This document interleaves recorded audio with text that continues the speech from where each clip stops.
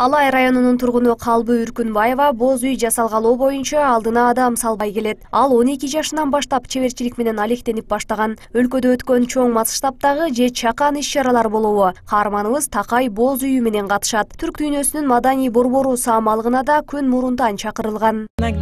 Бул кийин кийин калып кеткен баягы боз үйдүн эмеректерин жасаш олор булар калып кетти эле.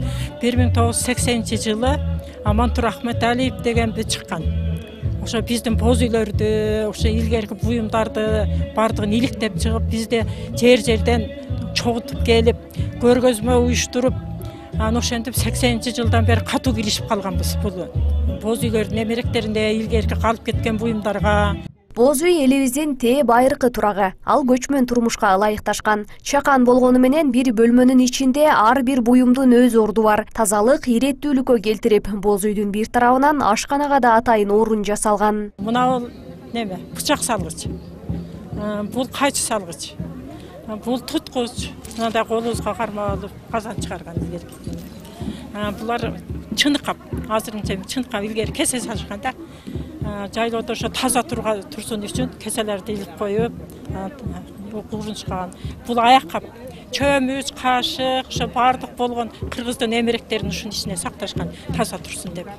Каарманыбыз сексенинчи жылдардан бери үй бүлөсү менен боз үй жасалгалоого баш оту менен киришип келет. Анын сөөгүн сандык жана жыгач буюмдарды уста балдары жасайт. Андан соң ага оймо чийме түшүрүү да үй бүлөдөн ашпайт. Боз үй ичинде керектелүүчү буюм тайымдар маанисин жоготпостон. Ушул кезге чейин ар биринин айныгыс орду сакталган тээ байыртан эле элибиз баш кийимди аздектеп келген. Аны тебеленди жерге таштабай белек катары дагы берген эмес ал эми боз үй жана айымдар үчүн алардын баш кийимин коюучу жай дагы жасалган. Боз үйдүн оң тарабы эркектерге тиешелүү болгон.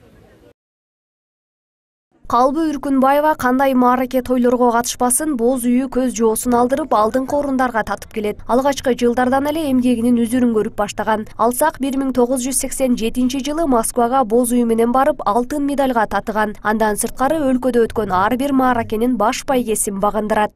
Сымбат абдакимова жомарт караев ош бирим жаңылыктары